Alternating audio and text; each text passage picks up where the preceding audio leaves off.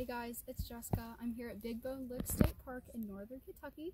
Here behind me are some new animal friends. This is a herd of bison. It's one of the only herds of bison left in uh, North America.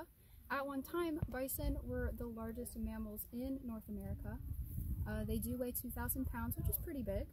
Um, but a lot of the animals that live in this area are now extinct. The only one that remains is the bison, unfortunately.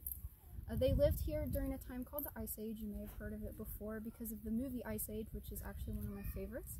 So Manny, Sid, and Diego, they were all real animals at one time and they called this place home.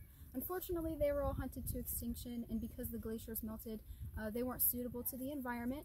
The bison survived. Uh, they were almost extinct at one time and we ended up bringing them back. We maintain this herd here for people to see so that we can remember the way the land used to look with the glaciers during the Ice Age before they were all hunted. So if you get the chance, come out to Big Bone, see our herd. A lot of them are about to have calves, which is really neat. Make sure you get out here, see our bison herd, make a new animal friend, and we'll see you on our next adventure.